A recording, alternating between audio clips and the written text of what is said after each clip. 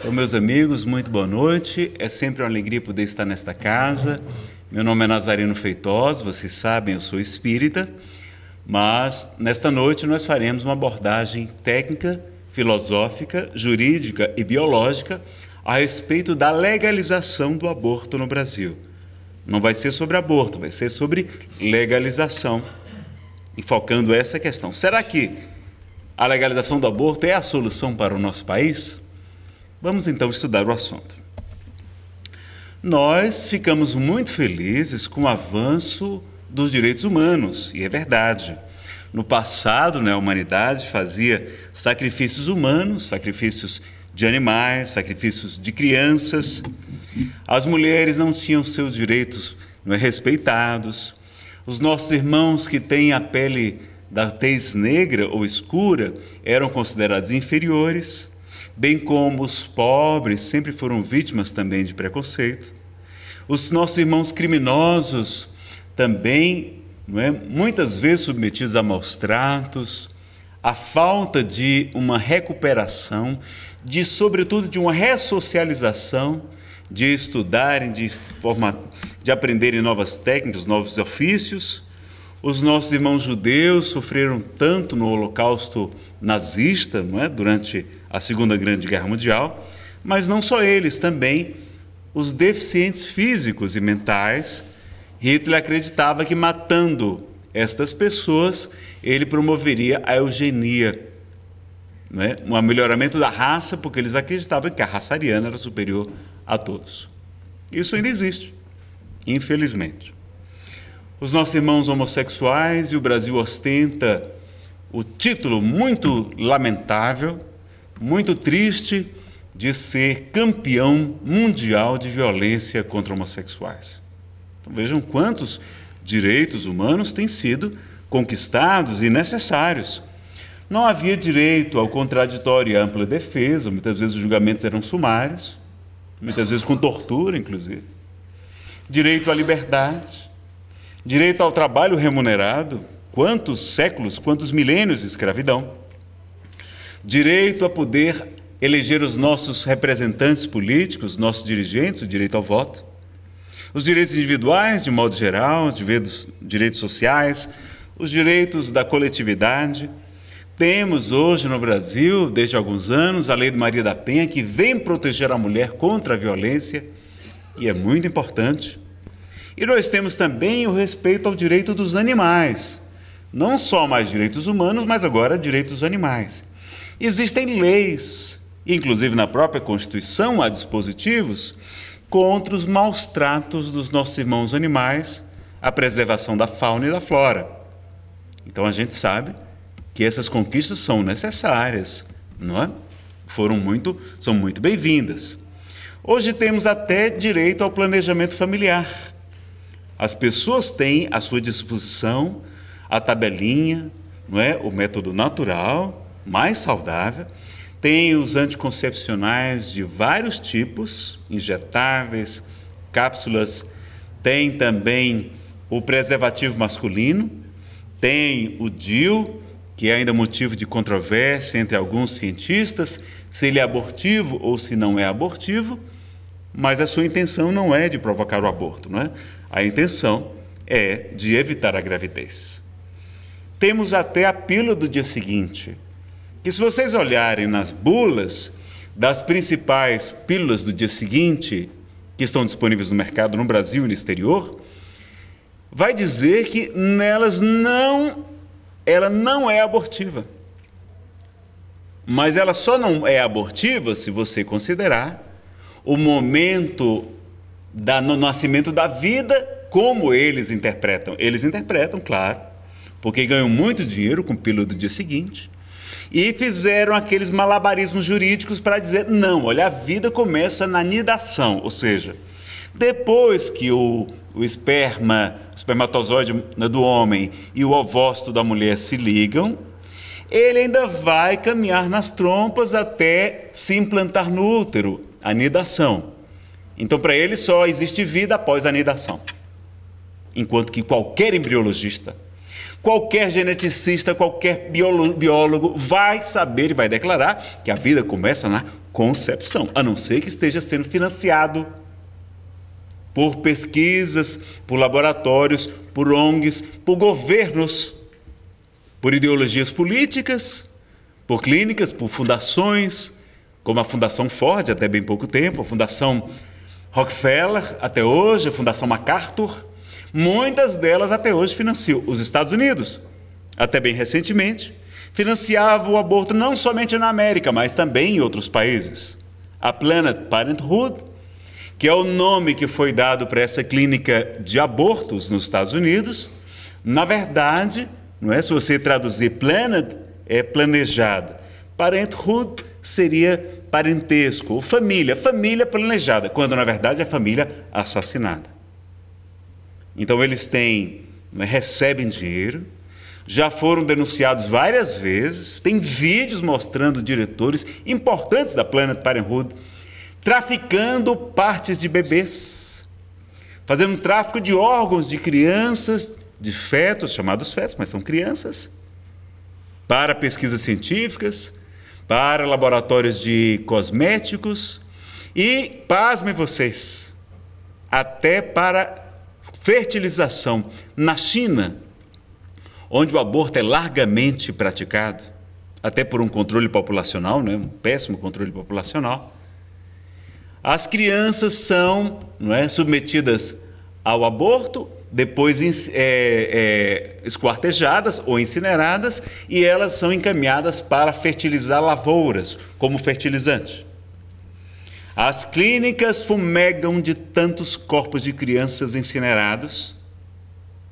E a gente lembra quando, durante a Alemanha nazista, muitos alemães sentiam o odor de cheiro de carne humana sendo queimado nos campos de concentração e continuavam suas vidas normalmente. Às vezes tinham que limpar as cinzas dos para-brisas dos carros de tantos não é, corpos que eram queimados nas câmaras de concentração nazistas.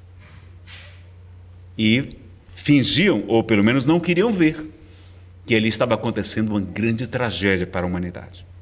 E nós continuamos fazendo isso.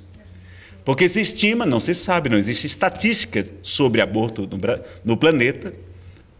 Não são todos os países que legalizaram, cerca de 70% legalizaram. E se sabe, então, se estima que acontecem 45 milhões de abortos provocados, eu não estou falando de abortos espontâneos, abortos provocados no planeta por ano. É mais do que as duas grandes guerras mundiais mataram juntas. E nós assistimos isso com uma tranquilidade imensa, não é? Então, que desenvolvimento é esse?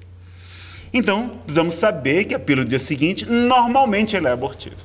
Além de ser uma bomba de hormônios, tem pelo menos 10 vezes mais hormônio do que os anticoncepcionais mais poderosos, e tem moças tomando isso todos os meses como se fosse anticoncepcional, quando não é, prejudicando muito a sua saúde. Então nós temos o planejamento familiar, nós temos escolhas. E a universalização dos direitos humanos, defende Flávia Piovesan, vai dizer que a concepção contemporânea de direitos humanos caracteriza-se pelos processos de universalização, ou seja, cada vez mais pessoas tendo direito aos direitos humanos e internacionalização desses direitos. Mas os direitos humanos, então, deveriam ser para todos os humanos. Vocês concordam, pelo menos? Todos os humanos. E por que, que o bebezinho, só porque está no ventre de sua mãe, não é considerado humano? E o direito à vida? Vocês sabem que um ovo de crocodilo, de jacaré, já tem proteção. Se você destruir um ovo de jacaré, se você destruir um filhote de jacaré, você vai pagar por um crime, eu acho que é até inafiançável. Enquanto que o ovo de um bebezinho, de um ser humano, não tem nenhuma proteção para esses que defendem a legalização do aborto. Então há nessa discussão, não há é, problemas da antinomia das normas, não. Existe antinomia entre princípios, porque as normas são muito claras. Muita gente não quer ler, não quer interpretar como se faz, como seria o correto. Mas o problema é que se ele diz, não, tem um princípio que é mais valoroso que o outro. E quando acontece essa antinomia de princípios, a gente tem que ver o que, é que deve prevalecer. Qual é o, o princípio que é mais importante? Qual que antecede os demais? Será que é o direito à vida, que é o mais básico de todos, principal? Ou será que é o direito à autonomia da vontade da mulher, que ela pode matar ou não o seu filho? Então, direito à vida, a gente não tem dúvidas quanto a isso. Não? Agora, quando a gente assiste qualquer pessoa que defende a legalização do aborto, nós vamos ver que, primeiro, elas não são isentas, não.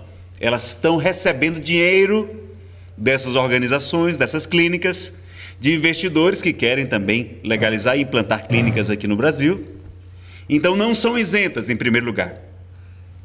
Tem, claro, pessoas que fazem isso por ideologia política, etc. Mas os abortistas mesmos, que os militantes, normalmente são financiados. Teve um, um, caso na audiência pública que um médico foi lá, apresentou todos os seus diplomas e ainda revelou. Foi honesto. Eu sou financiado pela Fundação X. Eu não me recordo agora qual era. Mas elas não falam isso. Então você está recebendo dinheiro para defender uma ideia. Você vai fazer o quê? Você vai fazer como muitos advogados fazem: o advogado vai defender o direito do cliente. E não que é a verdade. Temos o apoio de quase todos os governos de esquerda. Em regra, eles são favoráveis ao aborto, em regra, não são todos. As causas chamadas feministas, que na verdade nós somos a favor do feminismo, nós não somos a favor é do, do das abortistas. Não, isso não. Há muitas feministas que não são abortistas. E nós não deveríamos ser feministas nem machistas, nós devemos ser humanos. Porque esta é a nossa condição, não há diferença entre um homem e uma mulher. É? E há cientistas e pesquisas, laboratórios patrocinados por essas clínicas, por essas ONGs, por essas fundações, para, não é claro, defender e interessa, o que interessa. Então, em primeiro lugar, eles não são isentos. É claro também que os religiosos, não é? Quem tem uma ideologia religiosa também não está sendo isento, porque a sua religião está lhe demandando falar. Mas eu não vou falar de ideologia religiosa hoje. Há cientistas contrários, sim, não é verdade que os cientistas são todos a favor da legalização do aborto. E há os humanistas, que não precisa nem de religião para saber que aquilo é um absurdo. E eu achei muito interessante, porque dois autores publicaram um artigo que foi um escândalo na comunidade científica. Mas não deveria ser. Porque, na verdade, para mim, eles foram muito coerentes. Porque eles, eu trouxe em inglês, para vocês verem que eu não alterei o texto. Eu vou fazer uma tradução. Vocês me perdoem, porque o meu inglês é lá do Ceará. Não é grande coisa.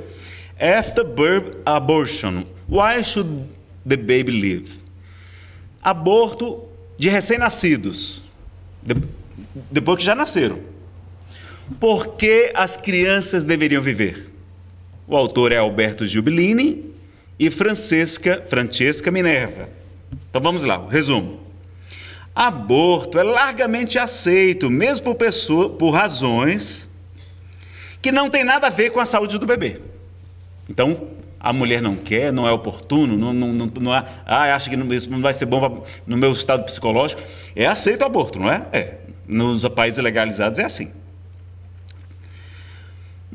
Por demonstrar que, primeiro, Ambos, os fetos e os recém-nascidos, não têm o mesmo status moral de pessoas reais, porque eles não têm vida de relação. Um recém-nascido não se comunica, não é? Eles acham que eles não pensam, eles acham que ele não, não, não, não, não sente emoções nenhuma.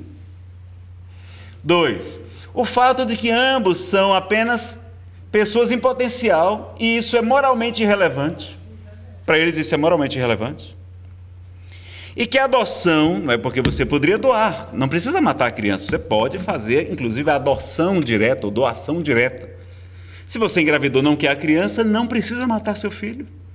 Você pode simplesmente entregar, comunicar à justiça, e a única coisa que os juízes vão fazer é vai consultar se dentro da família se tem alguém que queira adotar a criança, porque esses terão prioridade. Se os irmãos, se o pai, a mãe, eu não sei a relação completa. Mas a única coisa. E, se não tiver ninguém, vai para aqueles casais que estão loucos para ter um filho e não podem, sobretudo recém-nascidos. As pessoas querem adotar e dizem que a fila demora, mas demora porque você quer recém-nascido, lourinho do olho azul. Mas se você quiser criança mais, mais, mais adulta, não é? Um pouquinho mais crescidinha, se for negro, tem bastante, não demora para adotar. Demora se você quiser escolher. E quase 70% das crianças têm irmãos. Então, se você não quer adotar uma criança que tem irmãos, então é outro problema. Então, você só quer um, não quer dois. Então, ontem foi o Dia Mundial da. Dia 25, aliás, de maio, né, o Dia Mundial da Adoção, por isso que eu estou comentando isso também. Então, você pode fazer a, ado a adoção direta, não precisa de jeito nenhum matar a criança, tá?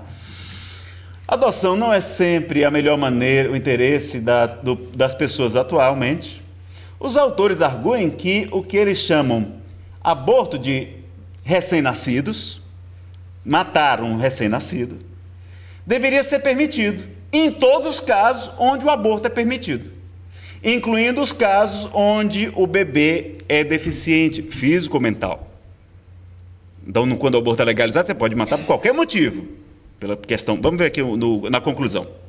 Se o critério é quanto os custos, o custo social, psicológico ou econômico, for para os, os parentes, os pais em potencial, são bons e suficientes razões para terem um aborto, mesmo quando o bebê é saudável, se o status moral de um recém-nascido é o mesmo de que a criança, porque eles quase não diferem em nada, e se nenhum dos dois tem nenhum valor moral pela virtude de ser apenas uma pessoa em potencial, para eles eles não são pessoas, são pessoas em potencial, inclusive os recém-nascidos, porque eles não têm vida de relação, não se relacionam conosco.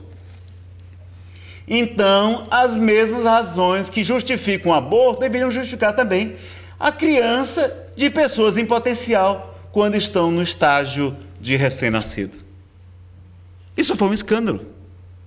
Mas se vocês analisarem bem, eles foram extremamente coerentes. Se se aceita matar dentro do ventre da mulher, só porque saiu do, da barriga da mulher, por, por que, que não pode matar? Pode matar. Se é o mesmo argumento que vale para o bebê, deve valer para o recém-nascido também. Olha aqui. Quando a gente. É porque a gente não raciocina, mas quando a gente pensa, analisa, realmente. Bebê recém-nascido, só por quê? Porque a gente vê. O problema é esse, é porque a gente vê. Porque enquanto a mulher não está vendo o filho, enquanto ela apenas toma o medicamento para provocar expulsão, né, praticamente não prejudica a criança, esses medicamentos abortivos que são vendidos ilegalmente, quem compra isso está cometendo crime. Eu sou policial federal. Ela está, além de cometer um crime, vai expulsar a criança. A criança praticamente não tem sequelas. Só que a criança nasce vivinha. Porque o, o remédio é para provocar contrações no útero, é para úlceras. E aí provoca contrações no útero e a criança é expulsa, viva. E também quando, não é? Ela está sedada, está lá, vai para a clínica, ela não vê nada, tiram a criança, a criança normalmente vem viva, e aí tem que ser esquartejada, esmagada, trucidada, ou incinerada, como é feito em muitos países.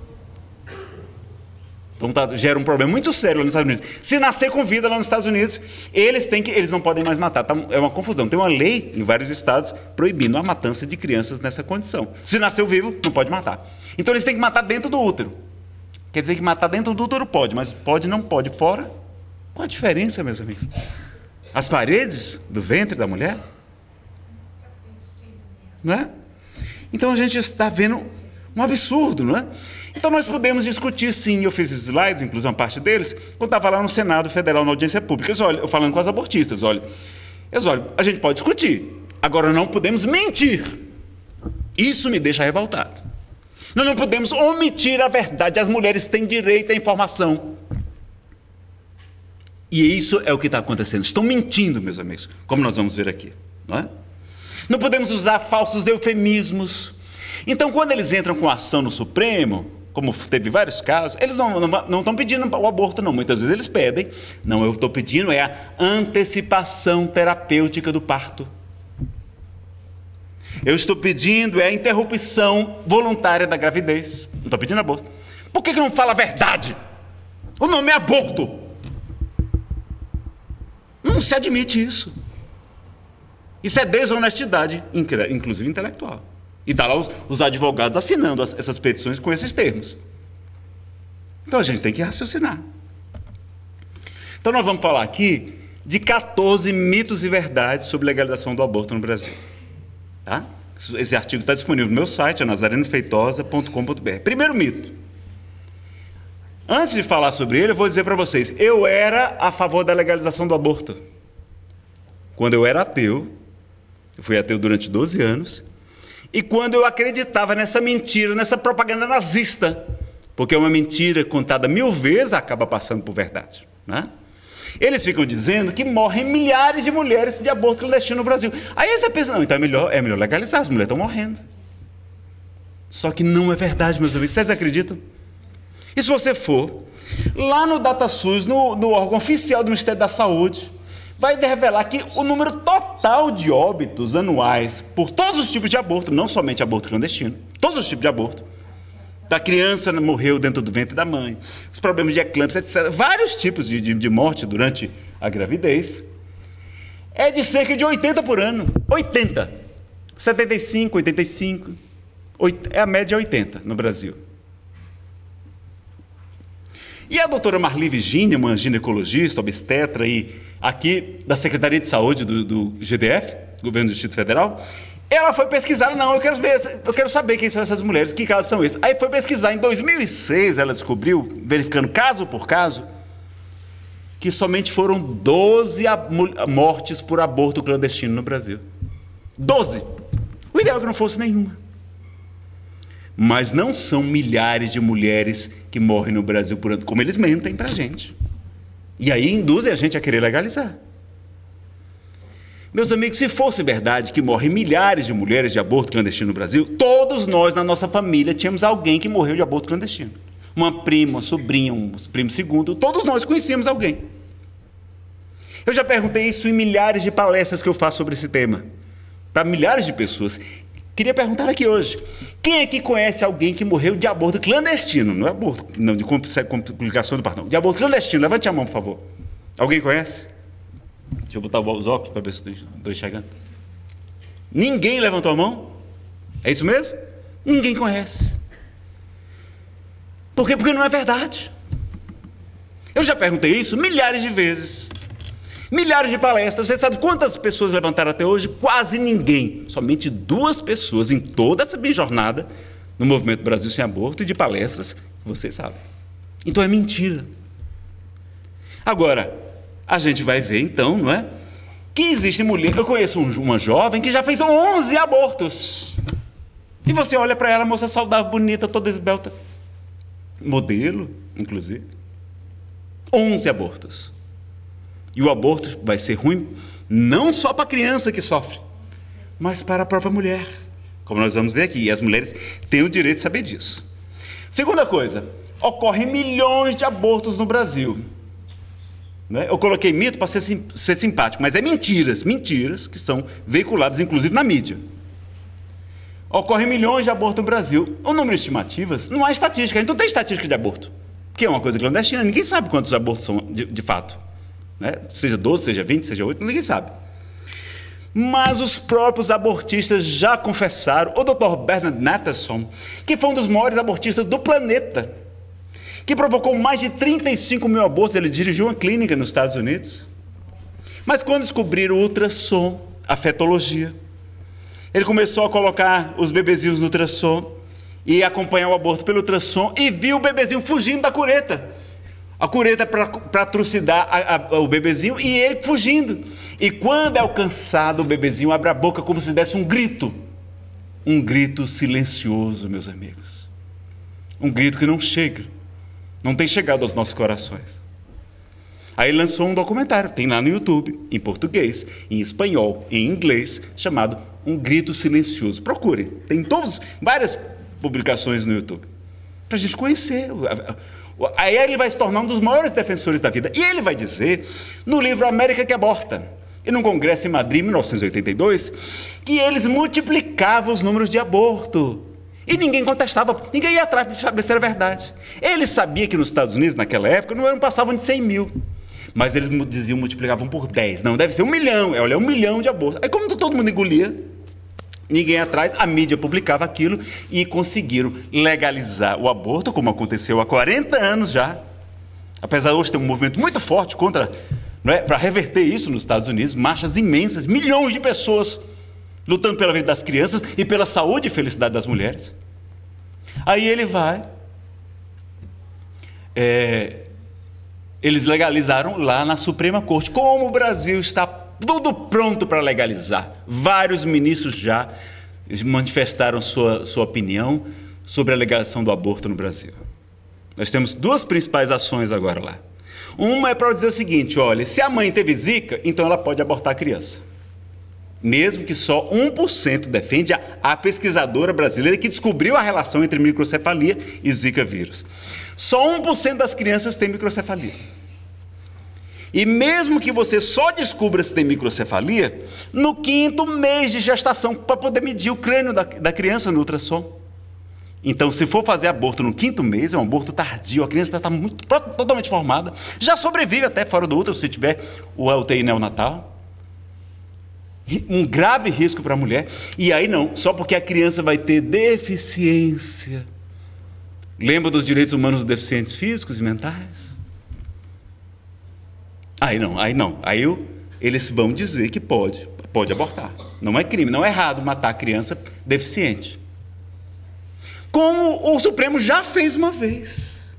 O Supremo no Brasil, meus amigos, está usurpando a competência principal do Poder Legislativo, que é qual? Legislar. O Supremo está mudando, rasgando as leis, mudando, fazendo, eles estão fazendo leis. No caso do aborto dos anencéfalos, e a mesma ministra com todo respeito, mas foi um, um, um, sorteio eletrônico, mas ela, no julgamento no Supremo do aborto de crianças com anencefalia, que é o termo exato, é equivocado, não existe criança anencéfala, existe com microcefalia, com, uma, com acro, um, vários termos técnicos para definir que a calota craniana não se fecha, mas ela não, e ela já votou a favor do aborto dos anencéfalos. Ou seja, eles pegam o Código Penal e rasgam, simplesmente assim. Teve uma palestra, uma audiência pública na Câmara recentemente, eu assisti, está inclusive no meu canal no YouTube, sobre ativismo judicial, sobre o Supremo usurpar a competência do Legislativo, como está sendo, como está acontecendo. E grandes doutores da USP de Direito, inclusive o secretário executivo número 2 do Ministério da Justiça da atualidade, o senhor Levi, ele vai, eles vão defender que nos países em que o tribunal é que faz as leis, eles erram tanto quanto os, os, os, os legisladores. Não, fica, não é melhor porque eles são mais inteligentes que passaram no concurso público, eles erram porque são humanos. E ao contrário, nos países em que há um processo legislativo, que a população que é quem manda, porque o poder é do povo e emana do povo para o povo, tem audiências públicas, tem a oportunidade de participar, de interagir, de falar com o seu deputado, de apresentar argumentos. E isso é mais legítimo e tem sido o correto em todas as nações do planeta, mas aqui no Brasil não. Aqui o Supremo está querendo ser um superpoder, infelizmente. Não deveria. Está errado. Começa daí, não é? Aborto é solução. Olha, o aborto, além de matar crianças, somente prejudica a mulher porque provoca aumento dos problemas orgânicos, psicológicos e psiquiátricos das mulheres, como orgânicos, hemorragia, perfuração do útero, infecção, a sepse, né, que era chamada septicemia, infecção generalizada que pode levar à morte. E a própria morte está no Tratado de Ginecologia de Williams Hoffman. Isso acontece nos abortos clandestinos e nos abortos legalizados também, tá? Não é só porque ela está no hospital que. Olha, fazer cirurgia plástica, a pessoa morre, imagine fazendo aborto, que é uma, uma coisa muito invasiva. Pesquisas sugerem que aumenta os índices de câncer de mama. Sabe por que, que aumenta câncer de mama? Você sabe qual é a maior proteção contra o câncer de mama? Engravidar e amamentar o seu filho. Olha como a natureza é sábia. O corpo da mulher é feito para engravidar e é feito para amamentar. Se ela faz isso, o corpo se protege, protege a mulher, produz estrogênio e esse hormônio impede a proliferação do câncer de mama. Olha que coisa curiosa. Câncer de útero, de ovário, aumenta os casos de gravidez ectópica fora do lugar certo e a, e a criança morre. Normalmente acontece aborto espontâneo. Abortos espontâneos, partos prematuros, síndrome de Ashman, complicações tardias, frigidez. As mulheres querendo tanto todos os seus direitos, querendo ter direito ao prazer sexual, a mulher vai perder completamente o desejo e o prazer sexual. Depois de uma pode, pode acontecer, não é sempre. Pode acontecer a esterilidade, não poder ter, realizar um dos maiores sonhos para a mulher, que normalmente é, o, é o, a, a, maternidade. A mulher se realiza, a mulher, a mulher se transforma. A mulher, depois que se torna mãe, ela. Eu conheço várias que me dizem assim: Neno, eu só sei o que é amor. Só se sabe o que é amor depois que a gente tem um filho. Eu achei que eu amava minha mãe, que eu amava meus irmãos. Eu, não, eu amo é meu filho. É um amor que uma gente nunca viu. Ela, a pessoa se transforma em uma leoa, defendendo a sua prole, não é? A gente vai falar aqui ao final do que fazer se a gente cometer um aborto ou se a gente pagou um aborto, induziu uma pessoa a cometer um aborto, como é que a gente faz para corrigir, tá certo? Então, a gente vai tranquilizar vocês no final da palestra. Psicológicos, muito mais casos de síndrome pós-aborto, a PSA, queda na autoestima, sentimento de culpa, frustração do instinto materno, é um dos instintos mais poderosos que existe na natureza, é o instinto materno. E a mulher frustra o seu instinto materno. Psiquiátrico, então, aumenta quase de ansiedade generalizada, neuroses diversas, síndrome do pânico, depressão profunda, dependência química, alcoolismo e muito mais casos de suicídio. Agora veja, o que é melhor? Uma gestação, alguns meses, e depois doar essa criança e fazer a felicidade de uma família, de um casal que não consegue ter filhos ou carregar uma depressão pelo resto da sua vida. Eu conheço mulheres que dizem assim, Nazareno, eu não sei o que aconteceu depois que eu abortei. A minha vida começou a dar tudo errado, começou a dar para trás. Olha, acabou o meu namoro. É impressionante como a gente escuta esses relatos. E nas religiões, na doutrina espírita, sobretudo, tem explicações, não é? Ao final a gente vai falar numa abordagem espírita também. Mito 4, a mulher tem um direito de escolha. Mentira também, a mulher não tem um direito de escolha. Estudos demonstram que quase 80% dos casos a mulher é influenciada ou obrigada a fazer o aborto pelo parceiro, pelo marido, pelos pais. Às vezes a mãe é que quer que a mulher aborte. É um absurdo isso. Pela família, ou seja, ela não é, é o médico que impõe, que, que recomenda, e a coitada às vezes não tem nem não tem conhecimento, as pessoas não têm cultura, não têm conhecimento das coisas. Porque o médico falou, então, eu vou abortar. Divaldo Pereira Franco, vocês conhecem, o maior palestrante espírita da atualidade, uma família muito pobre de Feira de Santana, a mãe dele passava fome para poder dar, dar, alimento a ele. E quando ela engravidou, já engravidou idosa. No interior do Brasil, em 1927, que não tinha recurso nenhum. Quando foi falar com o médico, ela achava que estava com barriga d'água. E o médico disse: Não, a senhora está é, é, a senhora tá grávida. Daqui a seis meses a sua, sua barriga d'água vai nascer. Agora é melhor a senhora abortar, porque a senhora é idosa por causa da sua idade, porque a senhora é muito pobre. E ela disse: Nem que eu morra, eu mato meu filho. E aí nós temos Divaldo Pereira Franco. E muitos outros, ele é só um exemplo, não é? Então ela tem o direito de escolha? Não tem, porque ela é obrigada muitas vezes a, abortar. O marido, o namorado, não, eu, eu lhe abandono, eu lhe largo se você não abortar. É assim que eles fazem. Olha, um homem que faz isso com a mulher é melhor que largue você mesmo, minha filha. Não vale nada. Ou está mal orientado, um dia ele vai mudar. Um dia ele vai. Porque depois que a criança nasce, tudo muda. Os, os, os avós ficam tudo louco pela criança, os tios, os irmãos, todo mundo, a criança é a cor, melhor cor do mundo. Aí ela, ela agora. A, agora, ela é livre para decidir se aborta ou não. Mas depois que nasce, a família passa a adorá-la, especialmente a mãe. Em verdade, ela pode escolher engravidar ou não. Ah, eu sou o maior defensor da escolha da mulher. Para mim, a mulher é para ser pro-choice, não é? Pra, como eles falam. Você tem direito de escolha. Ela tem o direito de escolher. Ela pode ter relacionamento sexual ou não. Ela pode usar preservativo ou não. Ela pode usar anticoncepcional ou não. Ela pode usar tabelinha ou não. Ela pode fazer o que ela quiser. Agora, depois que ela engravidou, ela não decide mais a vida do bebê, que é outro, outro, outro indivíduo. Porque ali tem os cromossomos masculino e feminino, né? Se juntam, é um novo DNA completamente diferente do pai e da mãe. É um outro ser vivo. Tanto que o bebê tem que produzir imunossupressores. Ele tem que enganar o sistema imunológico da mãe, porque para a mãe aquilo é um corpo estranho e o corpo iria expulsar se o bebezinho, desde os primeiros dias, olha a sabedoria, olha como tem inteligência por trás daquilo. Ele já começa a enganar o sistema imunológico, produz substâncias que enganam o sistema imunológico e ela não expulsa o bebê. Então ela tem todo o direito. E depois que engravidou, ela tem todo o direito de ficar ou não. Ela pode entregar para adoção ou pode ficar com a criança. Ela não é obrigada a ficar com a criança. Mas ela não pode, não deve matar. Isso ela não deve. Ah, vamos, devemos legalizar o aborto pelo SUS. Porque as mulheres ricas é, fazem clínicas é, sofisticadas, vão até para fora do Brasil, fazer lá fora.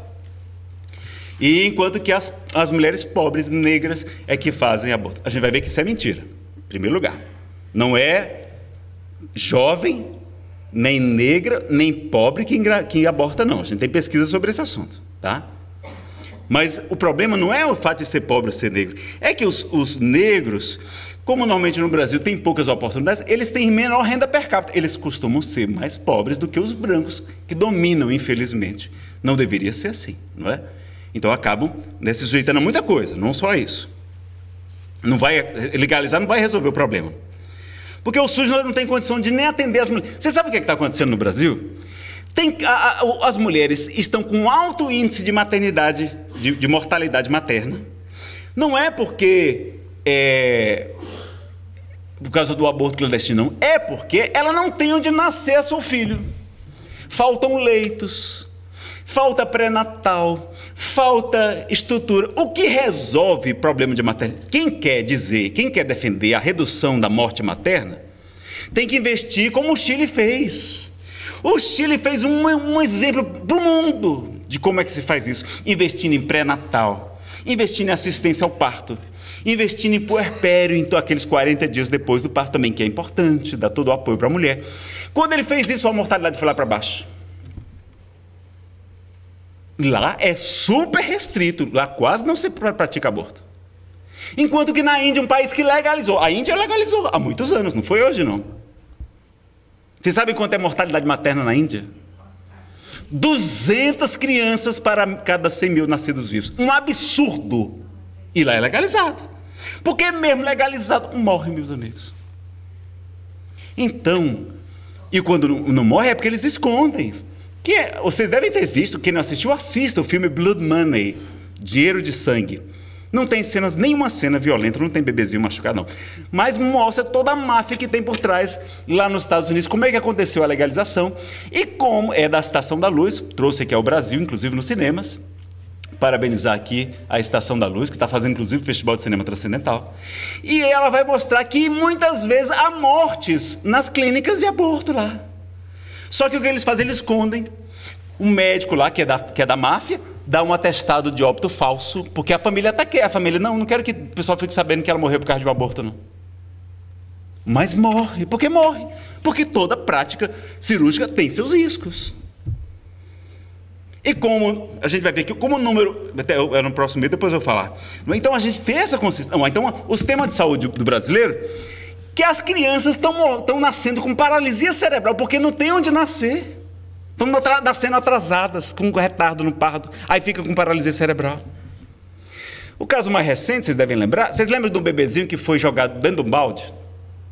Viram dentro de um balde? Assim, estava na UTI, e aí naquela hora, na confusão lá naqueles panos, jogaram o bebê sem querer dentro do balde. A enfermeira, vocês viram isso?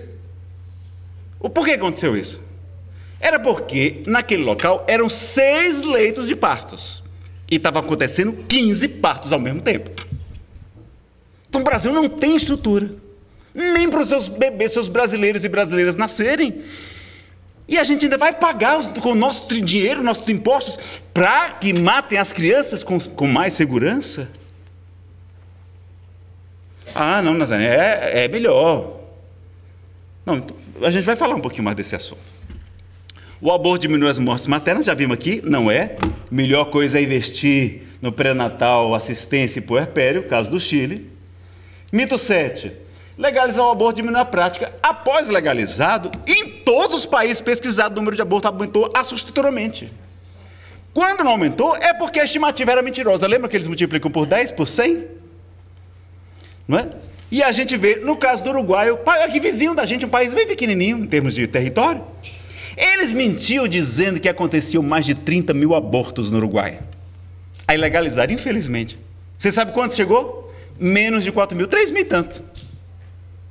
Agora, todo ano lá aumenta o aborto. Esse ano passado foram quase 7 mil crianças assassinadas legalmente com a chancela da população e do Estado. Dobrou, já, já dobrou. E às vezes não aumenta mais, por quê? Porque estamos fazendo o aborto em larga escala usando a pílula do dia seguinte, que normalmente é abortiva. Mas ela não entra nas estatísticas, porque para eles não é considerado aborto isso. Em todo lugar aumenta. Aí tem gente, não, quando legaliza diminui. Não, quer dizer que quando era proibida, não, é proibido, eu vou fazer. Agora, quando, é, agora que legalizou, não, agora não vou mais fazer, não, porque agora é legal. Que maluquice é essa? Pelo contrário, estão usando que nem anticoncepcional. Na Inglaterra, os médicos estão assombrados. Como é que jovens, crianças, 17 anos de idade, já cometeram dois abortos? Prejudicando, talvez se tornem estéreis, não ter mais a condição nem de ter filhos. A pílula do dia seguinte não é abortiva, nós já falamos, não é? Ela normalmente é uma é abortiva, sim, porque depende da quantidade de horas que foi tomada, mas tudo indica. E a, a, a intenção também é essa. Proibir o aborto não impede a sua prática. Ah, Nazaré, proibir não resolveu, não. Continua tendo aborto, mesmo sendo proibido, mesmo sendo crime. É verdade. Proibir o estupro e a corrupção também não acabaram, não acabaram com, a legal, com, com o estupro nem com a corrupção no Brasil. Vamos legalizar então para acabar o problema? Vamos legalizar o estupro? Vamos criar estupódromos pagos com nosso dinheiro para os estupradores poderem estuprar as mulheres com segurança. É isso que a gente vai fazer? Não, vamos dar então fuzis, colete à prova de balas, capacetes especiais, dar para os criminosos para eles poderem matar gente sem nenhum risco para a saúde deles. Vejam a que ponto a gente chegou. No Brasil, é crime, mas não inibe. Vocês sabem por que, que não inibe? Porque no Brasil, o problema do Brasil não é a corrupção só, não. O maior problema do Brasil é a impunidade. Ninguém vai preso. Não existe mulher presa por aborto no Brasil. Só se ela tinha, além do aborto, outros crimes. Porque a pena é pequena. Porque ela vai dizer, ela é, ela é primária, ela tem bons antecedentes. Agora, se ela já cometeu outros crimes, se ela está numa clínica abortando, etc., ela é abortista, aí sim ela pode ser presa. Porque aí a pena ela já não tem mais bons antecedentes, ela não tem mais. Tem todos os, os recursos. Mas aí tem os recursos para o tribunal para não sei para onde, responde liberdade tem não sei quantos benefícios e recursos. A pessoa não é presa. Todo mundo vai prestar o depoimento na, na delegacia e dali daqui a pouco é liberada. É, responde liberdade. Não é verdade que. Agora, se fosse presa mesmo, se elas soubessem que tinha consequências, eu tenho certeza que ia diminuir. Mas no Brasil é, é assim. Ninguém vai atrás. As clínicas estão aí funcionando, ninguém faz nada. Mito 10. É bom diminuir a, taxa de natalidade. No Brasil, a taxa de natalidade despencou nas últimas décadas. E pesquisa demonstra que por volta de 2050, cerca de 30% da população estará idosa e não haverá adultos para manter a previdência social. Precisa nascer criança, ter jovem, ter pessoa adulta, depois mais nova, para poder pagar a previdência, para poder a gente poder se aposentar. Estão querendo acabar com a nossa aposentadoria? É porque não, nasce, não tem mais, mais criança, não tem mais jovem nascendo. Ninguém mais quer namorar e fazer menino. Quer só namorar. E muitas vezes cometeu o aborto. Mito 11. O aborto de anencéfalos preserva a saúde da mulher. O trauma, o trauma de descobrir que tem um bebê com anencefalia já aconteceu, ela já, já descobriu. Esse aqui foi o trauma. Agora, além do trauma de saber que ela engravidou e teve um bebezinho doente, somar um outro trauma que é muito mais grave, que é o aborto, você só piora a situação da mulher. E se a criança já vai morrer, por que matar? Se vai viver só algumas horas, se vai morrer dentro do útero, se vai nascer, viver no máximo três anos, como foi a Maria de Jesus Galante, dois anos e sete meses, como foi a Manuela Duarte. Por que, que a gente precisa matar? Deixa morrer. Deixa seguir o curso natural da vida. Mito 12. É necessário abortar para salvar a vida da mãe. Atualmente, meus amigos, com o avanço da medicina, isso é raríssimo. Pode acontecer? Pode, mas é raríssimo. E até se você tirar a criança já com cinco meses, ela já sobrevive. Bota no UTI neonatal, ela já sobrevive. Tem bebezinho com poucas gramas aí, não é? é, é sobrevivendo. Gestar uma criança deficiente físico, mental prejudica a mãe. Na verdade, fizeram pesquisa mostrando que o trauma do aborto é mais danoso do que aquela gravidez. Né? Já aconteceu. Matá-las é eugenia, como fez Hitler. E o mito 14. Adolescentes pobres é que morrem por aborto. Você sabe o que acontece? Fizeram um estudo aqui na UNB e na UFRJ. E descobriu, o, destruiu o estereótipo de que abortar é um método usado para adolescentes para interromper uma primeira gravidez fruto de uma relação passageira inconsequente. A grande maioria das mulheres que abortam tem entre 20 e 29 anos, 25 anos em média. Trabalha, tem renda, tem dinheiro. Tem um parceiro estável, é casada. E já tem pelo menos um filho. Este é o perfil da maioria das mulheres que abortam no Brasil. Então ela está usando o aborto como anticoncepcional, que não é. É ela está usando o aborto para resolver um problema que ela, problema que ela, que ela podia ter prevenido. E aí, quando a mulher também não faz o sexo chamado seguro, que é uma, uma coisa in, meio inconsequente, né? e falar esse termo eu acho, eu acho equivocado, mas você veja, se legalizar o aborto, também vai aumentar muito o número de abortos, vai triplicar. E aí o número de morte por aborto vai continuar o mesmo, porque antes era menos. E agora triplicou, aí triplicando também, na, mesmo nas clínicas, com higienização, com tudo. No SUS do Brasil, imagine, vai continuar havendo mortes, sequelas. E vamos ter, não é? Como a gente sabe, é, eu acabei fugindo agora o raciocínio, porque eu estou preocupado já com o horário. Então, Nazareno, soluções, vamos apresentar soluções para a gente resolver o problema. Tem solução? Tem. Qual é a solução? Primeiro, aprovar o Estatuto do Nascituro. Projeto de Lei 478, 2007. Dez anos já se arrastando na Câmara.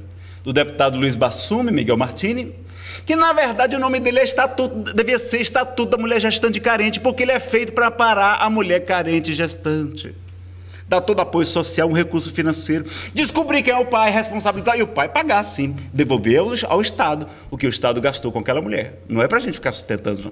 O pai tem, tem, tem exame de DNA para isso hoje auxiliando a redação. A redação foi aperfeiçoada pela deputada Solange Gomes e tem um pedido de urgência do deputado João Campos, daqui de Goiás. Responsabilizar o parceiro, que o, o Estatuto do Nascituro faz isso. Acolher as mães em condição de risco social e psicológico. Ampliar a rede cegonha, né? a gente pode acolher as mães. Tem instituições assim, a instituição dos Santos Inocentes, que ampara gestantes carentes. O Instituto Vida Bezerra de Menezes, aqui no Areal, em Águas Claras, é um centro espírita, mas também ajuda as gestantes carentes. Todo apoio para evitar que elas abortem. Em Santos, um, um, padre fez isso. As prostitutas do Porto começaram a largar a prostituição porque tiveram a alegria de ter um filho, serão amparadas por ele. Conscientizar a população sobre os métodos contraceptivos saudáveis. Né? Assim, evitar. Quando a pessoa faz sem um preservativo, ela está correndo um risco gravíssimo. Vai aumentar o índice de? De AIDS. De sífilis, que tem voltado com força total. Quantas doenças graves a gente pode a mulher receber ou transmitir para o parceiro, né? Ela precisa saber das consequências orgânicas. Isso aqui não é dito para ela, as consequências orgânicas, psicológicas, psiquiátricas. Ninguém fala isso para as mulheres. E elas têm o direito de saber da informação. Aprovar uma PEC, um, um propósito de emenda à Constituição que garanta expressamente o direito à vida desde a concepção. Tem que dizer lá na Constituição, desde a concepção, porque o Supremo, senão o Supremo vai legalizar.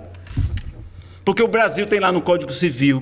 O Brasil é signatário do Pacto de San José da Costa Rica, que tem lá que todos os países signatários vão respeitar a vida desde a concepção. E a gente faz né, como é que aquilo não existisse. Um tratado internacional de direitos humanos. E aí o Brasil, não, nessa hora não, não vale. O direito é, é muito bonito, mas é, é, é terrível quando a gente vê que a gente tem argumentos para ambos os lados. Né? Tem duas PECs, a do deputado João Campos, 164-2012, e outros, né, são vários signatários, e a PEC 29-2015 no Senado, do senador Magno Malta e outros. E o mais importante, desmascarar essa mentira em forma de propaganda nazista, de repetir sua mentira mil vezes até que ela passe por verdade. Afirmando-se que morrem milhares de mulheres por aborto clandestino no Brasil, quando isso não é verdade, isso é mentira. Isso é propaganda nazista e abortista, financiada por quem está ganhando dinheiro com isso divulgada por quem está ganhando dinheiro com isso. Tem todas as fontes lá na nossa página, nazarenofeitosa.com.br. E só para a gente concluir, vou ter que ser bem rápido aqui, vou mostrar para vocês, agora falando do ponto de vista. Né, o Brasil acolhe os haitianos, mas não tem como acolher os brasileiros e brasileiras que fogem da morte, nem das suas mãezinhas? Por que, que a gente não pode acolher eles também? Né? Está aqui. Essa bebê tem 10 semanas, não tem 12 não. Eles só querem dizer que até a 12 pode matar, porque não tem sistema nervoso envolvido. Isso aqui é o quê? Isso aqui é, é um ser humano? Não, não é um ser humano não. Então é animal ou vegetal? Não, é animal. Então, aplique a lei dos maltratos contra os animais e não mate a criança. Não faça ela sofrer. Então, há vários pensamentos. Olha, tem dizendo que na oito semanas já tem todos os sistemas do corpo humano, incluindo o nervoso. Na quinta semana, os primeiros neurônios começam a aparecer. Sexta, as primeiras sinapses. Sete semanas e meia, o embrião apresenta os primeiros reflexos já. E na oitava semana, o ceto, que já tem as feições faciais, com mão, pezinho, dedão, tem um circuito básico de neurônios. Com poucos dias, o embrião já produz substâncias para enganar, já falamos, e com 21 dias, 21 dias, o embrião já começa a produzir neuropeptídeos, que é o, o, elemento básico do sistema de comunicação entre o sistema nervoso, endócrino e imunológico, 21 dias. E o coraçãozinho também está batendo, acho que por volta de 21 dias, não é isso? Então a doutora Candice Pert mostra isso. Também, inclusive, de lembranças que a criança tem, se ela sabe, inclusive, os traumas que ela tem durante a gestação. E, e por que não sente dor? Não é porque não sente dor, não tem sistema nervoso. Aí quer dizer que não, quem não sente dor pode ser morto? Bom, primeira coisa, a gente tem certeza que os bebês não sentem dor? Tem pesquisa dizendo que é a partir da quinta semana, tem outros dizendo que é na vigésima. Bom, há vários pacientes que não sentem dor. Paciente em coma, sente dor? Não, está lá inconsciente, né? Pode matar? Não, não pode matar. Paciente que usa morfina, sente dor? Não, não sente dor. Pode matar? Não, não pode. Doenças com analgesia congênita, neuropatia sensitiva anatômica, síndrome de Riley-Day. Meus amigos, se há dúvidas, opiniões opostas, sabe o que acontece no direito? No direito penal vai dizer que em dúbio, na dúvida pro réu, se o, o juiz não tem certeza, ele tem que inocentar o, o, o, o indiciado, o acusado. Seria o bebê pior do que o mais perverso dos criminosos? Só porque ele não tem direito de, se defender? Não é isso que é o direito humano, a gente defender os mais fracos. Gandhi vai dizer, me parece claro como a luz do dia, que o aborto é um crime. Madre Teresa vai dizer que o aborto é um assassinato no ventre. Uma criança é um presente de Deus, se não a quiser, dê para mim. A maior destruição da paz no mundo é o aborto, pois sua mãe pode matar sua própria criança. Quem me impede de eu me matar você e você me matar? É uma pobreza muito grande decidir que uma criança deve morrer para que você possa viver como deseja. Martin Luther King vai dizer que o negro não pode ganhar nada enquanto ele está disposto a sacrificar as vidas de seus filhos por conforto e segurança. Como nosso sonho pode sobreviver se assassinamos nossos filhos? Cada bebê abortado é como um escravo no ventre de sua mãe, onde a mãe decide o seu destino. Eu trouxe apenas alguns religiosos para mostrar como eles defendem os direitos humanos de todos nós. Não é? E qualquer estudante de biologia, de medicina, sabe, o, o livro principal, o de Moore e Pessoa, vai dizer que a vida começa na ligação do espermatozoide com o óvulo. Né? É o mesmo, o mesmo ser humano, do embrião até o velho, é a mesma coisa, é um contínuo. Né? E agora, concluindo essa nossa primeira parte, eu vou falar para os espíritas. Que tem espírita dizendo, não, eu sou, eu sou contra o aborto, mas eu sou a favor da legalização. Vamos ver o que, é que Chico Xavier falou sobre a legalização. Legalização do aborto, não foi sobre aborto só não. Estuda-se no Brasil uma forma de legalização do aborto. Qual a sua opinião? O aborto é sempre lamentável porque se já estamos na Terra com elementos anticoncepcionais de aplicação suave, compreensível e humanitária, por que é que havemos de criar a matança de crianças indefesas, com absoluta impunidade entre as paredes de nossas casas? E isto é um delito, é um crime muito grave perante a providência divina, porque a vida não nos pertence sim ao poder divino.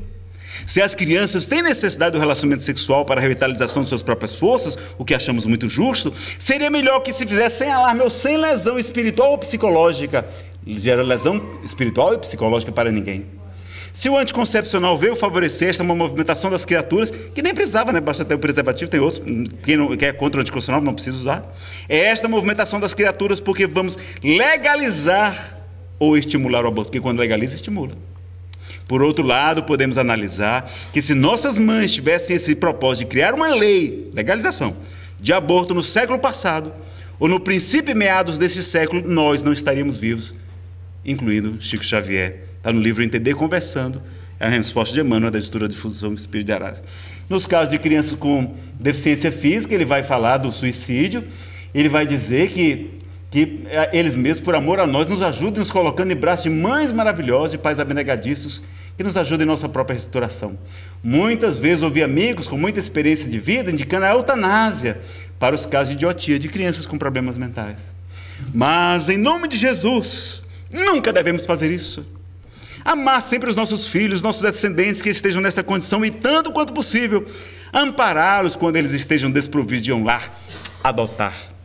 Se você cometeu um aborto, você pode ter um novo filho. Não, não passei da idade, então adote uma criança. Não, não, eu não consigo, não, meu marido não quer, então adote emocionalmente. Está lá o, a, o larzinho nosso lá, que vai ter a festa junina agora, dia 4 de junho. Visite lá, ou qualquer outro abrigo de crianças carentes, uma vez por mês. Leve amor, que é o alimento das almas. É isso que elas precisam, e de orientação. Elas sabem que tem alguém cuidando. Olha, Theo, como é que está o estudo dele? Está frequentando a evangelização, a catequese, ela está frequentando? Dar amor e orientação, que é o que essas crianças realmente não precisam de dinheiro, não precisam de amor e de orientação. Aí ele vai dizer: é uma bênção amparar alguém, amparar alguém como esses nossos irmãos que estão em condições assim tão dolorosas, porque amanhã mesmo eles serão também nossos benfeitores. Bem-aventurados aqueles que puderem estender o coração e as mãos para as criancinhas que nascem nessa condição, que muitas vezes foram vítimas do próprio suicídio em vidas passadas. Né? Então, o que é que desejamos para o nosso país? É isso que nós queremos? Ou uma criancinha linda, trazendo alegria para toda a família, mudando a nossa vida só para o bem. Não é? Lembrem que a caridade cobre a multidão de pecados, como está na primeira epístola de Pedro. E como Jesus fala à mulher pecadora, dizendo, porque muito amou, seus pecados foram perdoados. Então nós temos todo o direito de errar, mas temos o dever de reparar os nossos erros. Então, meus amigos, a gente termina aqui. Só um convite para vocês da terça-feira próxima. Terça-feira, dia 30 de maio de 2017, às 14 horas, lá perto da torre de TV, nós vamos estar reunidos pela décima marcha, décima caminhada nacional da cidadania pela vida contra o aborto. Lá para protestar diante do Congresso Nacional, do Supremo Tribunal Federal, dizer que nós não aceitamos isso. E nós precisamos. São 10 anos de caminhada. Quem aqui já participou de alguma caminhada? Levante a mão. Pessoal, a gente tem que mudar isso. Porque quando a gente não ajuda, a gente se torna responsável também, fica como corresponsável daquele crime que está acontecendo. Se legalizar o aborto no Brasil, vai aumentar muito o sofrimento das crianças e das mães. Então, nós estamos no coração do mundo, na pátria do Evangelho, nós precisamos ajudar. Visite o site brasilsemaborto.org, ajude financeiramente, divulgue suas redes sociais. Participe é terça-feira. Nazareno, por que é terça-feira? Por que não é no sábado ou no domingo? É porque os pastores, os padres, eles não celebram missa, culto no domingo. Se for no domingo, eles não podem ir. Aí na terça-feira eles podem. Então lá, peça seu chefe, chefe, olha, eu vou precisar sair mais cedo, 14, vou trabalhar só até as 14 horas. Depois eu compenso essas horas, tá certo? E eu vou lá marchar contra a legalização do aborto no meu país. E por fim, convidar vocês para o sétimo Festival de Cinema Transcendental. Começou já, hoje tem um filme Deixe-me Viver, lá no, no, Museu da República. A entrada é franca, apenas se pede, se possível, 2 quilos de alimento não perecíveis. Você pode até deixar do, depois aqui na comunhão. Passa ali na livraria, na recepção, pega o seu ingresso, tá? escolha o filme. Tá? O filme Jovem Messias, que ia ser na quarta-feira, por como teve a, a, manifestação, foi para o sábado, 15 horas, tá certo? Ele vai ser sábado, 15 horas aqui. Ah, os curtas-metragens vai ser às 17 horas e no finalzinho, 19 horas, o filme No Meio de Nós, nesses filmes maravilhosos, com essa proposta de trazer esperança, daí o Jovem Messias, aqui os vários curtas-metragens selecionados com toda essa temática de defender a vida, o bem, a espiritualidade, o amor, a paz, é ecumênico, não é só para quem é espírita, tá certo? E visite o site, então, cinematranscendental.com.br. O No Meio de Nós será no, no sábado, é a última sessão às 19 horas, tá? Então, sábado tem às 15 o Jovem Messias, tem às 17 horas a, a mostra dos cultos selecionados e às 19 horas tem No Meio de Nós, que é sobre extraterrestre, ufologia, como a gente colocou os trailers no início.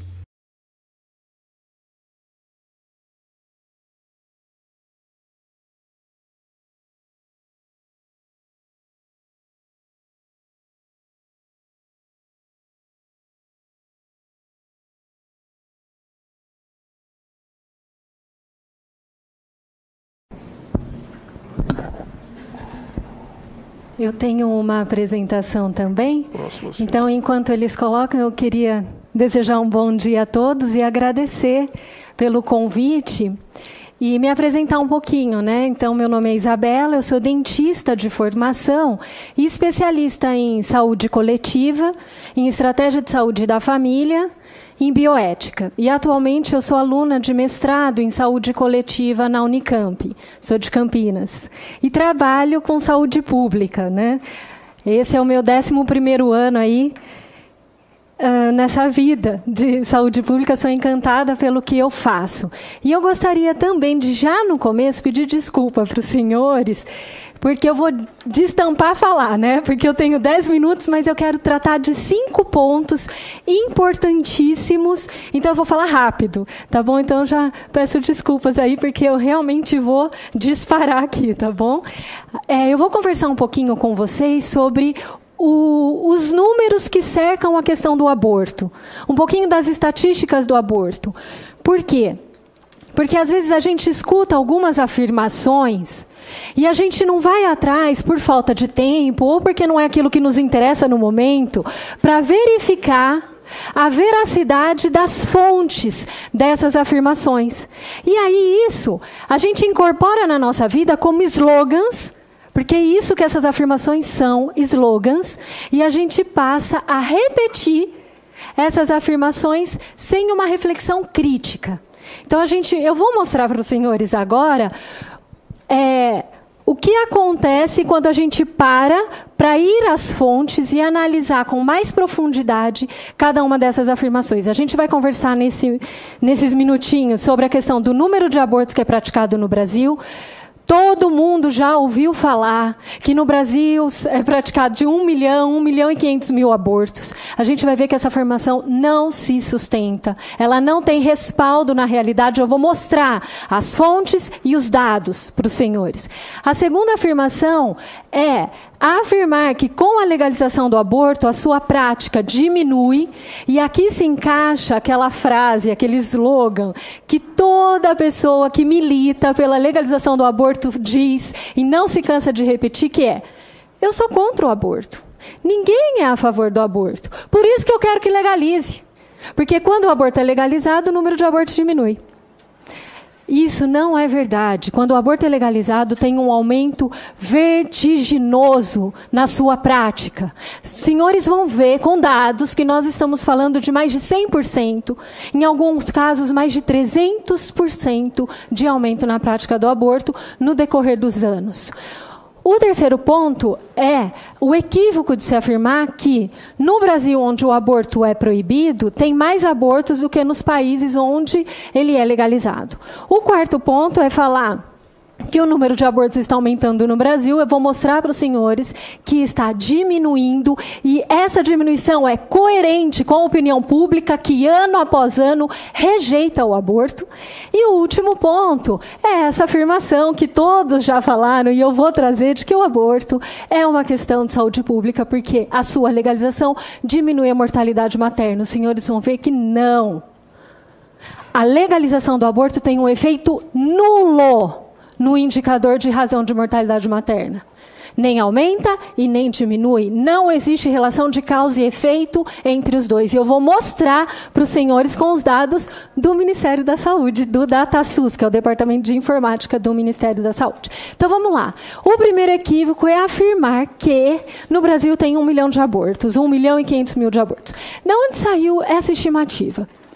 Quem nos dá essa estimativa são dois institutos, o Instituto Alan Guttmacher e o IPAS. Eu preciso falar rapidinho quem são esses dois institutos. O Instituto Alan Guttmacher, ele é um braço da IPPF. A IPPF, eu acredito que vários dos senhores já ouviram falar dela, que é a grande multinacional do aborto.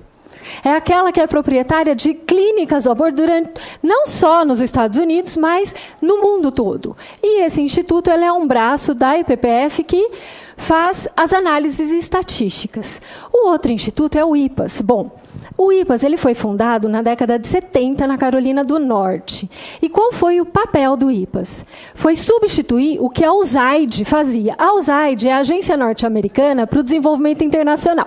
Fato é que quando a Fundação Rockefeller começou a trabalhar para diminuir o crescimento populacional do mundo, ela dividiu o início dos seus trabalhos em três fases. A primeira em relação a estudos demográficos, para mostrar que estava tendo um aumento da população mundial.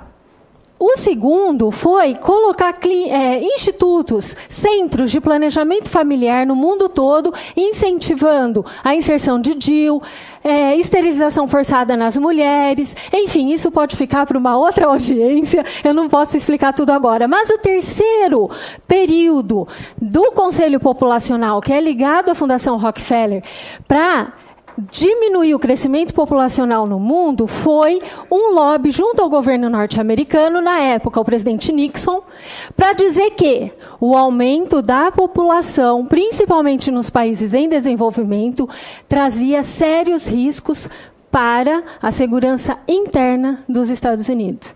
E aí, o que, que o presidente faz? Dentro da USAID, que é essa agência internacional Agência Norte-Americana para o Desenvolvimento Internacional, ele cria um departamento para assuntos populacionais. E esse departamento recebe aproximadamente em 15 anos 1,7 bilhões de dólares para frear o crescimento populacional no mundo todo. Esse plano só perdeu para o plano Marshall que foi uma, a maior ação da USAID, que reconstruiu o continente europeu no pós-guerra, para a gente ver o tanto de dinheiro que a gente está falando. E aí a USAID começou seus trabalhos, mas com Uh, trocou a presidência, veio Carter e ele proibiu que fosse usado dinheiro público para financiar aborto fora dos Estados Unidos. E aí a USAID vê uh, o seu recurso secar. Bom, não tem problema. Com meio milhão de dólares da Fundação SCAFE, eles criam o IPAS, que passa então a fazer tudo o que a USAID fazia, agora com dinheiro privado. Então é o IPAS é esse instituto que nos dá essa estatística, certo? O Instituto Alan Guttmacher fala que a gente precisa pegar para estimar o número de abortos, o número de internações hospitalares e multiplicar por 5. E o IPAS vai dizer que a gente tem que multiplicar por 6. Agora, a pergunta que não quer calar: de onde eles tiraram esse fator de multiplicação? Jamais houve uma explicação. Nunca eles explicaram. Eles ensinam que é assim, todo mundo fica fazendo. E aí dá uns números absurdos, que é o que a gente vê aqui no Brasil. Opa, gente, desculpa, senador, quebrei o copo. Pode ir? Tá. Sabe por quê, gente? Eu estou falando muito rápido. Mas vamos lá. Ótimo. Vamos ver se a gente consegue estimar o número de abortos. Né? A gente, de fato, estima o número de abortos por internações hospitalares, óbvio, né? porque é o, o indicador aí que nos chega. Em 2013, isso são dados do DataSUS, aconteceram 206 mil e 270 internações hospitalares por aborto, mas aqui aborto é, geral, tanto espontâneo por outras causas e o aborto provocado. Essa pesquisa de 2010, a Débora Diniz já foi citada também várias vezes, eu vou usá-la como fundamentação desse, dessa estimativa de abortos. O que, que ela percebeu, gente? Que para cada duas mulheres que cometem aborto, uma precisa de internação hospitalar. E a gente sabe, isso também a doutora Elizabeth Kipman já trouxe, que de todas as internações hospitalares por aborto, de 20% a no máximo 25% são por aborto provocado.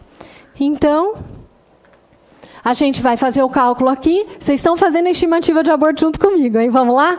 Se a gente pegar as internações hospitalares, mais ou menos 200 mil, e multiplicar por 0,25. Por que 0,25? Porque 25% das internações são por aborto provocado, mais ou menos, a gente tem mais ou menos 50 mil. E aí a gente precisa multiplicar por dois, porque a pesquisa nos mostra que, que para cada mulher, para cada duas mulheres que fazem aborto, uma precisa de internação. Então a gente multiplica por dois e a gente chega na seguinte estimativa, que é a mais fundamentada para saber o número de abortos no país, que é 100 mil abortos por ano. No Brasil, são realizados aproximadamente 100 mil abortos por ano. 1 milhão e 1 milhão e 500 mil não encontra uma explicação dessas. Não tem, por isso não é verdade, é um equívoco. Vamos ver no, nos Estados Unidos. Será que é só aqui no Brasil, então, que as pessoas usam dessa estratégia? Né, de colocar o número de abortos lá em cima para sensibilizar a opinião pública e aí que o aborto seja legalizado? A gente vai ver que não. Nos Estados Unidos, lá o aborto foi legalizado no começo da década de 70. E é, a gente sabia que existia lá de 200 a 300 mortes de mulheres por ano por aborto provocado e mais ou menos uns 200 mil abortos. Os que militavam pela legalização do aborto, eles diziam que de 5 mil a 10 mil mulheres morriam por ano e que havia um milhão de abortos. Detalhe, nessa época, a população dos Estados Unidos era semelhante à nossa, 200 milhões de habitantes, um milhão de abortos. Qualquer coincidência, né? E eu vou mostrar para os senhores a confissão do Dr. Bernard Nathanson que, no começo da década de 70 e na década de 60, ele já militava ferozmente pela legalização do aborto. Ele foi um dos fundadores da Associação Nacional pela Revogação das Leis do Aborto. Olha o que ele diz, eu vou ler na íntegra com os senhores. Eu confesso que sabia que os números eram totalmente falsos. E suponho que os outros, se parassem para pensar sobre isso, também sabiam. Mas na moralidade da nossa revolução eram números úteis, amplamente aceitos. Então, por que não usá-los da nossa forma? Por que corrigi-los com estatísticas honestas? A principal preocupação era eliminar as leis contra o aborto e qualquer coisa que pudesse ser feita para isso era permitida. Essa confissão dos lábios de quem militou pela legalização do aborto no começo da década de 70, década de 60 e começo de 70 nos Estados Unidos. Vamos lá para o segundo equívoco, que eu tenho cinco para falar para os senhores. O segundo é afirmar que, com a legalização do aborto, o número de abortos diminui. E aqui a gente vai direto para os dados. Direto. Vamos lá. Nos Estados Unidos, eu falei para os senhores que o aborto foi legalizado no início da década de 70. Tinha 193 mil abortos e 500, para uma população aqui de 250, 205 milhões. Cinco anos mais tarde, chegou no 1 milhão de abortos. Daí chegou. E a população nem aumentou tanto assim. Dez anos depois, um milhão e meio. A gente está falando de um aumento de 626%. 89, 1 milhão e 500, e depois teve um decréscimo, hoje está nos 800 mil, que também é muito maior do que perto dos 200 quando ele foi aprovado. Aqui eu fiz a proporção né, do número de abortos em relação à população, e a gente tem aí a curva do número de casos de aborto nos Estados Unidos. Só que todo mundo, até uma criança de 5 anos, percebe que está aumentando o número de casos de aborto. Né? Vamos ver um outro país, a Suécia. Lá o aborto foi legalizado em 39. Tinha mais ou menos uns 500 abortos. Dez anos depois, 5.500 abortos. Aqui eu peço desculpa para os senhores, porque eu, de fato, não encontrei a população eu tenho assim, a população da Suécia é, nesses anos, eu não achei, procurei não achei. E aí a gente vê que 30 anos depois chegou em 13 mil e em 2010 em 37 mil. Aqui está a curva, só dos, eu peguei os três marcos aqui onde eu achei a população para fazer do, do número de abortos na Suécia. Na Espanha, bom, a Espanha o aborto foi legalizado em 85 e em 87 a gente tinha uns 17 mil abortos. Em 2011, 118 mil 359, um aumento de 488% no número de abortos. E aqui, então, está a curva de crescimento do número de abortos na Espanha. Então, é, um fato interessante é a Inglaterra. A Inglaterra ela legaliza o aborto em 67. 40 anos depois, um senhor chamado Lord Steele, que era um militante pela legalização do aborto, ele se assusta quando ele vê o número de abortos, como tinha aumentado. E ele fica tão assustado que ele, ele vai à imprensa, né? Saíram várias reportagens da, da, que ele falava assim: olha, era inimaginável que o número de abortos chegaria a essa, essa proporção. Quando a gente militava pela legalização do aborto, a gente não tinha noção que isso pudesse acontecer. As mulheres estão recorrendo ao aborto quando o seu método contraceptivo falha. E é isso que acontece numa sociedade que legaliza o aborto. O aborto passa a ser mais um método contraceptivo contraceptivo. Eu engravido, eu aborto. Eu engravido, eu aborto. É isso que acontece. O aborto, ele se, ele se enraiza na cultura da sociedade. Tanto que, isso não sou eu que estou falando, são os dados. É a gente olhar para a realidade. Lá na Inglaterra, o grupo que apresentou uma, um maior número no, na prática do aborto foi das adolescentes. Porque as adolescentes não participaram da discussão, elas nasceram num mundo onde se mata crianças. Elas nasceram num país que se habituou a assassinar crianças dentro do ventre das mães. Então elas fazem isso. E foi o grupo que é, teve o um maior número de abortos. Um exemplo bem perto da gente foi a questão do Uruguai. Lá eles usaram dessa artimanha de colocar o número de abortos lá em cima para conseguir sensibilizar a, a, opinião pública e legalizar.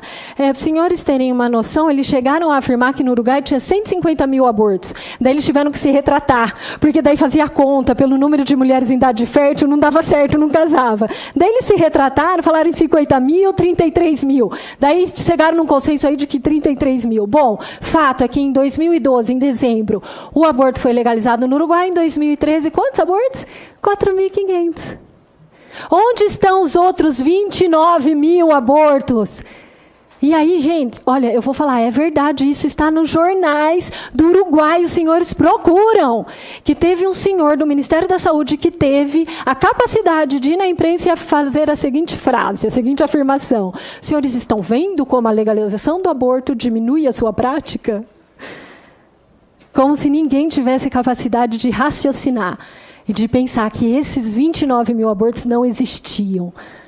Mulher nenhuma, ah, eu ia abortar, mas agora eu não vou mais porque o aborto foi legalizado, eu desisti. Certo? É um argumento que não se sustenta. Bom, o terceiro equívoco é: o Brasil tem maior número de abortos do que os países que legalizaram. Vamos direto aos fatos. No Brasil, a gente estimou 100 mil abortos, uma população de 200 milhões. França, 200 mil abortos para 50 milhões, 10 vezes mais do que no Brasil. Suécia, 40 mil abortos para uma população de 10 milhões, oito vezes mais. Inglaterra e Japão, quatro vezes mais abortos do que no Brasil. Portanto, vocês percebem como é, essa afirmação ela é arquitetada, ela é deliberada e eu esqueci de contar uma coisa para os senhores, que Bernard Nathanson ele dizia que o importante era envolver a mídia.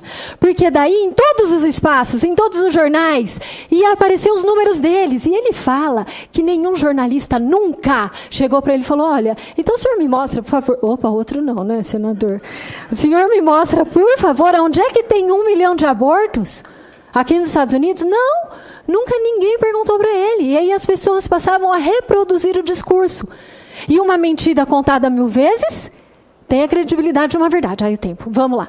O quarto equívoco é falar que o aborto, o número de abortos está aumentando no Brasil. Bom, isso não é verdade por quê? A gente não calculou o aborto pelo número de internações hospitalares? Sim. Então aí o que, que a gente vê? Ah, eu posso falar mais um pouquinho? A gente vê que o número de internações hospitalares ela vem em queda ano após ano, né? E o número de curetagens também. E de 2008 a 2012 chegou a uma queda de 12%. E aí, gente, isso é coerente com os dados de opinião pública que mostram, ó, o IBOP de, no, de 2003 mostra que 90% da população era contrária ao aborto. Em 2005, a aprovação do aborto diminuiu de 10% para 3%. Então, em dois anos, a rejeição ao aborto aumentou. O Datafolha, em 2007, mostrou que o percentual dos que achavam a prática do aborto muito grave foi de 61% em 98 para 71% em 2007. E só 3% consideraram essa prática moralmente aceitável. Depois disso, não apareceu mais resultado de pesquisa. Eu não vou falar que ninguém está fazendo, tá bom? Eu só posso afirmar que ninguém está mostrando. Agora, se está fazendo ou não, eu não posso afirmar. O que eu posso dizer é que Sônia Correia, em 2009, ela disse num congresso de reprodução de direitos reprodutivos na Assembleia Legislativa do Estado de São Paulo que a rejeição ao aborto está aumentando ano após ano no Brasil. E o quinto equívoco, e o último, é o seguinte: essa afirmativa de que legalizar o aborto diminui a mortalidade materna. E aí eu vou dizer para os senhores, com toda a experiência que eu tenho em saúde pública, em saúde coletiva, e com todos os estudos que eu já fiz, eu tenho duas especializações na área, estou fazendo mestrado. Essa afirmativa, ela não encontra respaldo na realidade, porque o que, que o mundo nos mostra?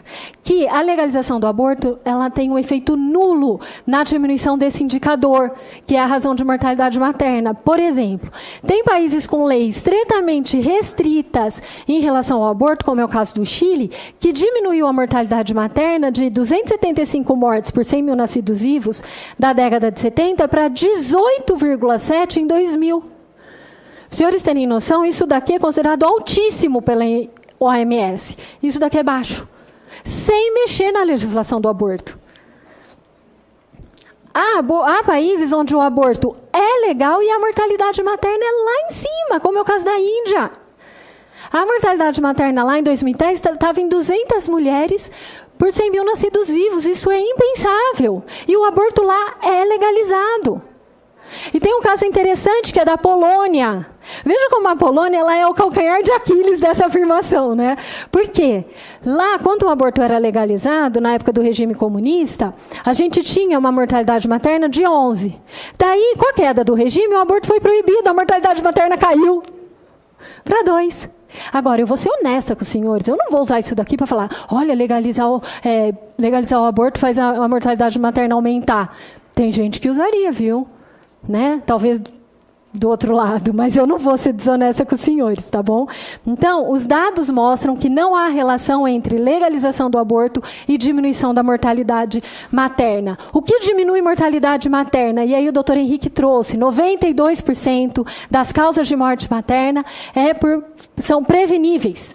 O que diminui é investimento na assistência ao pré-natal, parto e puerpério. A mulher, ela precisa conseguir acessar o sistema de saúde, mas não é só acessar meus senhores. Ela precisa acessar em tempo oportuno. Quando ela está tendo uma intercorrência, quando ela precisa do sistema, ela tem que ter acesso. E ela tem que ter acesso a um tratamento de qualidade. Porque eu vou dizer para os senhores, a doutora Elizabeth Kivin está aqui, para não me deixar mentir. Uma eclâmpsia, que é quando a, a, pressão aumenta tanto que leva em choque a gestante, muitas morrem por eclâmpsia, é do dia para noite que acontece. Uma gestante hipertensa, ela tem que ser acompanhada a miúde, não é? Ela descompensa rapidamente. Então, ela precisa ter um acesso a um... É, Sistema de saúde de qualidade. E aqui tem um indicador da razão de mortalidade materna, né, que a gente pega nos indicadores de mortalidade do DataSUS, em 2011, que é o mais atual que está disponível para a gente. A gente vê que em 2011 houveram 1.610 mortes maternas. 1.070 por causa direta, que são aquelas de causa obstétrica mesmo, uma hemorragia, né, uma infecção. 481 por causa materna indireta, que daí é uma descompensação de alguma doença que ela já tenha, uma hipertensão, diabetes, que ela pode até adquirir durante a gestação. Depois 59 por causas não especificadas e aqui 135 por aborto. Mas dentro dessas 135 por abortos, nem todas são aborto provocado. A gente vai pegar as três últimas linhas aqui para considerar aborto provocado. E a gente Agora tem um é um número minuto. A de... chegou nos 20, que é o, o Em um eu limite. termino? Posso terminar em um? Sim, sim. Tá, obrigada, um senador. A gente vê então que 96% das mulheres que morreram por causa de morte materna não morreram por aborto. As que morreram por aborto provocado, a gente está falando de 4%.